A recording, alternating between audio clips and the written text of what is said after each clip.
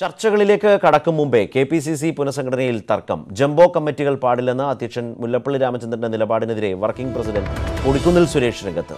കമ്മിറ്റികൾ ചെറുതാകുന്നത് പ്രായോഗികമല്ല. എല്ലാ വിഭാഗങ്ങൾക്കും സമുദായങ്ങൾക്കും പ്രാതിനിധ്യം നൽകാൻ വിപുലമായ കമ്മിറ്റികൾ വേണമെന്ന് കൊടിക്കുന്നിൽ ന്യൂസ് എയ്റ്റീനോട് പറഞ്ഞു. പാർട്ടി ആരെയും മാറ്റി നിർത്താൻ ഒരിക്കലും ആഗ്രഹിക്കത്തില്ല. ഇപ്പോൾ പാർട്ടി ജനറൽ ഭാരവാഹികളായിരിക്കുന്നവർ ഒരു അവരുടെ പ്രവർത്തന കാലയളവിൽ കാലയളവ് കഴിഞ്ഞത് കൊണ്ട് അവർ മാറുകയാണെങ്കിൽ അവരെ പൂർണമായി മാറ്റി നിർത്തുന്നില്ല. പക്ഷേ അവരുടെ സേവനവും സംഘടനാപരമായ കഴിവും പാർട്ടി വിനിയോഗിക്കും. അവർക്ക് ഉത്തരവാദിത്വങ്ങൾ നൽകും. അവരെ മെയിൻ സ്ട്രീമിൽ നിർത്താൻ പാർട്ടി നടപടി സ്വീകരിക്കും. അതാണ് ഞങ്ങൾ ചെയ്യുന്നത് ഇല്ല കോൺഗ്രസിനെ സംബന്ധിച്ചിടത്തോളം കോൺഗ്രസ് എല്ലാ വിഭാഗങ്ങളെയും പ്രതികരിക്കുന്ന പാർട്ടിയാണ്. കോൺഗ്രസിന്റെ ആരംഭകാലം മുതൽ പാർട്ടിയുടെ പുനഃസംഘടനയിലും പാർട്ടിയുടെ നേതൃത്വ തലത്തിലും എല്ലാ വിഭാഗങ്ങൾക്കും അത് മണ്ഡലത്തിലാകട്ടെ ബ്ലോക്കിലാകട്ടെ ജില്ലയിലാകട്ടെ സംസ്ഥാനത്താകട്ടെ എല്ലാ വിഭാഗത്തിലും ആളുകൾക്ക് പരിഗണന ലഭിക്കുന്നൊരു പാർട്ടിയാണ് കോൺഗ്രസ്. ആ പരിഗണന ലഭിക്കാതെ വരുമ്പോൾ കോൺഗ്രസ്സിൽ അത് ഒരു ചോദ്യചിഹ്നമായി മാറും. ആ വിഭാഗങ്ങൾ കോൺഗ്രസിൽ നിന്ന് അകലുവാനോ കോൺഗ്രസുമായി പിണങ്ങുവാനോ അവർ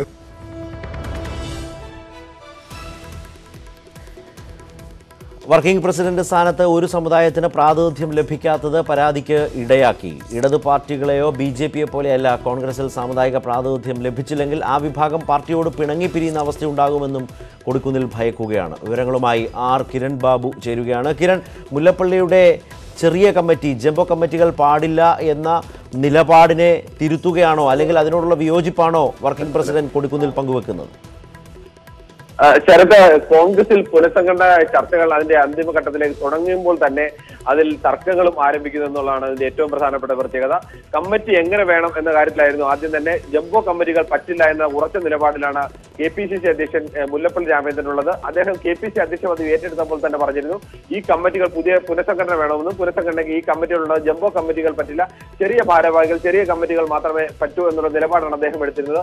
അന്ന് ലോക്സഭാ തെരഞ്ഞെടുപ്പ് പ്രമാണിച്ച് അങ്ങനെ ഒരു തൽക്കാലം ഒരു പുനഃസംഘടനയ്ക്ക് പോകേണ്ട എന്നുള്ള നിലപാടാണ് എടുത്തത്. ലോക്സഭാ തെരഞ്ഞെടുപ്പ് പ്രമാണിച്ച് അങ്ങനെ ഒരു തൽക്കാലം ഒരു പുനഃസംഘടനയ്ക്ക് പോകേണ്ട എന്നുള്ള നിലപാടാണ് എടുത്തത്. അതിനുശേഷം ലോക്സഭാ തെരഞ്ഞെടുപ്പ് കഴിഞ്ഞാൽ ഉടൻ തന്നെ ഈ പുനഃസംഘടന നടപ്പാക്കാമെന്ന് ഉറപ്പാണ് കെ എ സി സി അധ്യക്ഷൻ രാഹുൽ ഗാന്ധിക്ക് കെ പി സി പ്രസിഡന്റ് നൽകിയിരുന്നത്. അതുകൊണ്ട് തന്നെയാണ് കേരളത്തിലെ വോട്ടിംഗ് നടന്നതിന്റെ അടുത്ത ദിവസം തന്നെ അദ്ദേഹം പുനഃസംഘടനയ്ക്ക് കടക്കുന്നു എന്ന് പരസ്യമായി തന്നെ പറയാൻ തയ്യാറായത്.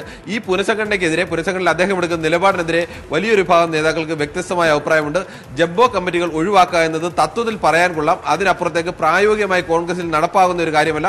അതുകൊണ്ട് തന്നെ ഇത് ഇത്തരം കമ്മിറ്റികളുടെ എണ്ണം കുറയ്ക്കുന്നത് അസാധ്യമാണ്. എന്ന ഈ വിയോജിപ്പ് പരസ്യമായി തന്നെ പ്രകടിപ്പിച്ചിരിക്കുന്നത് കെ പി സി സിയുടെ വർക്കിംഗ് പ്രസിഡന്റ് കൂടിയായ കൊടുക്കുന്നിൽ സുരേഷ് തന്നെയാണ്. കൊടുക്കുന്നിൽ സുരേഷ് ഇങ്ങനെ ഒരു അഭിപ്രായം പറയുമ്പോൾ ഇത് കൊടുക്കുന്നിൽ സുരേഷിന്റെ കേവലമായ ഒരു അഭിപ്രായം മാത്രമല്ല എ ഐ ഗ്രൂപ്പുകളിലെ പ്രധാന നേതാക്കളുടെ അടക്കം പരോക്ഷമായ പിന്തുണ ഇതിനുണ്ട്.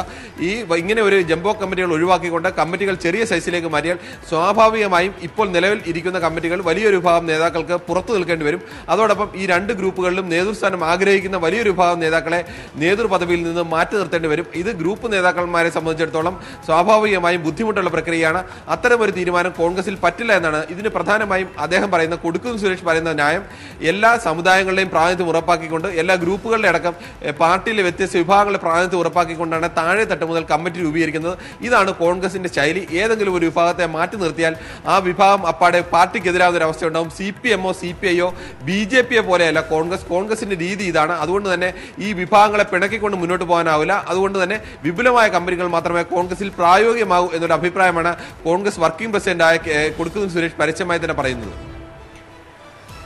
ഇതിൽ ഈ മുല്ലപ്പള്ളി കൂടിയാലോചനകളില്ലാതെ ഇത്തരം നിലപാടുകൾ പരസ്യപ്പെടുത്തുന്നതിലുള്ള ഒരു വിയോജിപ്പ് കൂടിയാണോ മുതിർന്ന നേതാക്കളിൽ നിന്ന് വരുന്നത്?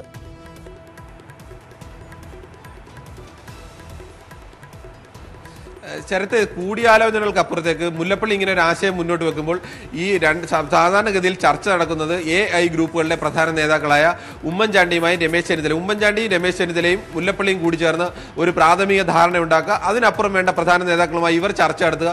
ഈ ചർച്ചയുടെ അടിസ്ഥാനത്തിൽ ഒരു അന്തിമ പട്ടിക ഉണ്ടാക്കുക. ഇതാണ് കോൺഗ്രസിന്റെ ശൈലി. എല്ലാ കാലത്തും ഇങ്ങനെ തന്നെയാണ്. ഈ രണ്ട് ഗ്രൂപ്പുകളുടെ പ്രധാന നേതാവും കെ പി സി പ്രസിഡന്റും ചേർന്നാണ് തീരുമാനങ്ങൾ എടുക്കേണ്ടത്.